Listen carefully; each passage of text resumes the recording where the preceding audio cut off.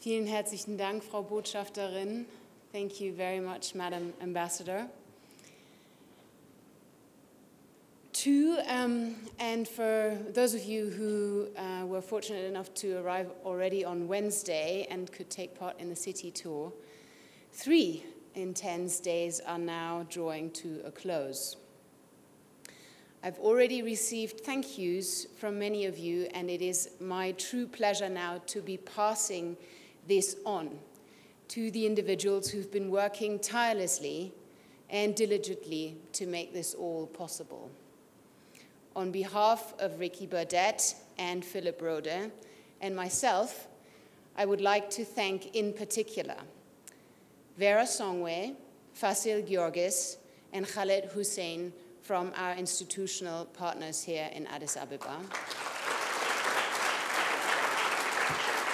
From the LSE, Emily Cruz, Timnit, Timnit Ishetu, Bridie Addison Child, other side. Tao Tavengwa, Marco Di Nunzio, Peter Griffiths, Rosie Havner, Alexandra Gomes, and Carl de Bella. From the Alfred Herrhausen Gesellschaft, I would like to thank Elisabeth Mansfeld, Anja Paulus, and watching us from Berlin via the live stream, Matthias Weber.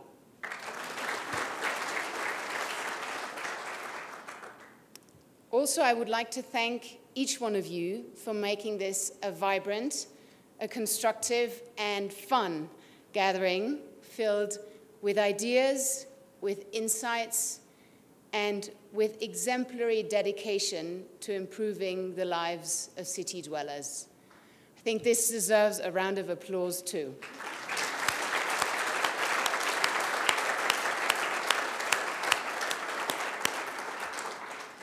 Now, I said in my opening remarks yesterday that I hope that you all take something valued away from these discussions. And I'm in no position to tell you what that something should be.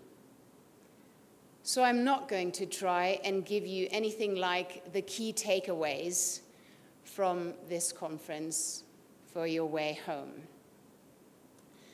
But I would like to share with you one personal reflection, and I hope that even after two intense days, you will indulge me just for a few minutes. I was very struck by a number of things, um, and one thing I would like to share with you, and that is a remark that Christian Benimana from Kigali, Rwanda, made several times. He said something to the effect of, in Rwanda, we're very conscious of a very dark chapter in our history, and we feel a heightened sense of responsibility towards our people and towards our neighbors because of that. I come from Germany, and I would argue that for us Germans, this has been true for decades as well. We are very aware of one, actually two, dark chapters in our recent history, and we have been feeling a strong sense of responsibility out of that. What is worrying me and many of my fellow Germans now is that it seems that some of us are starting to forget or even deny these dark chapters and the responsibility that arises out of it. This has been changing the nature of public debate in ways we would not have imagined 10 years ago. The debate has become more polarized, more aggressive, and more personal. Here, we've, uh, we've heard, I've heard from several of you, the appreciation in the last two days of this very open debate. I'm very happy about this because as an organization, the Alfred Herrhausen Gesellschaft has been convening and curating these debates for more than 25 years.